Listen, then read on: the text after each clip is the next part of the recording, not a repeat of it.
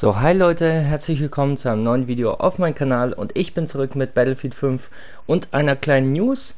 Und zwar kommt äh, der Firestorm-Modus, der Battle Royale-Modus für Battlefield 5, kommt am 25. März raus.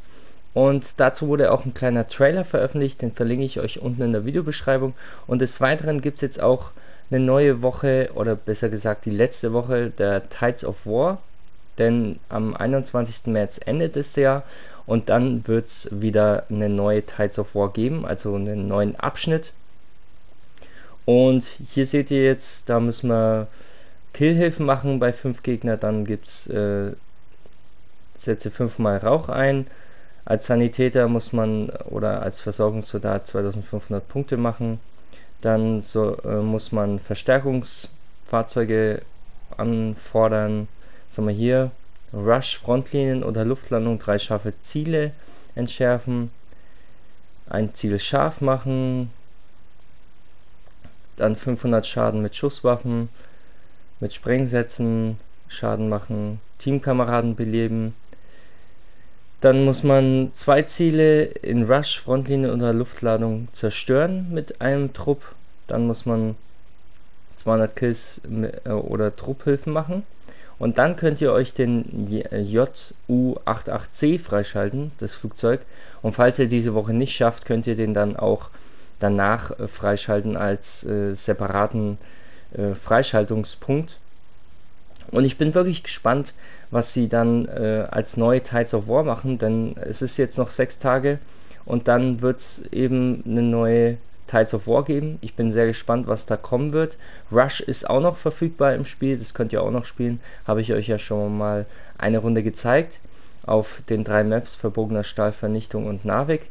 Ist richtig cool der Modus und es wird wie gesagt dann noch Firestorm dazukommen am 25. März. Und ich bin da auch sehr gespannt drauf. Da wird es auch ein Video dazu geben bei mir. Und ich hoffe, ihr schafft die Freischaltungen in der letzten Teils of War Woche. Ist nicht allzu schwer, was hier zu machen gilt, aber das ist eigentlich alles ziemlich straightforward. Das sollte man eigentlich schaffen. Und man kriegt dann dieses Flugzeug, finde ich ganz cool. Und es sind auch schon ein paar Waffen im Spiel aufgetaucht, die eventuell dann in der nächsten Tides of War kommen. Also zum Beispiel die Matzen äh, aus äh, Battlefield 1 und viele andere Waffen wurden da noch gefunden. Können wir gespannt sein, was da noch kommt.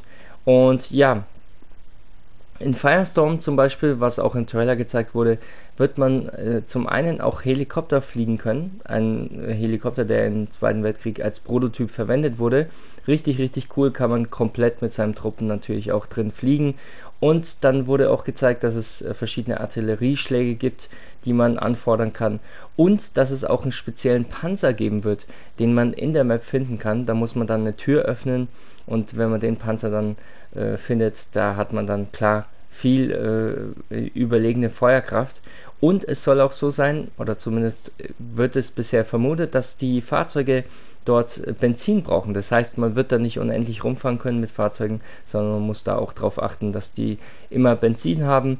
Und schaut euch auf jeden Fall mal den Trailer unten in der Videobeschreibung an. Dort seht ihr dann mehrere Infos und wenn dann der ja, wenn dann der Patch kommt mit dem DLC oder mit dem Modus, werde ich den dann auch spielen und euch dann in einem Gameplay zeigen. Ja, das ist so ziemlich alles zu der News hier, die ich sagen kann. Die ersten Infos zu Firestorm und der letzten Teil zur Warwoche.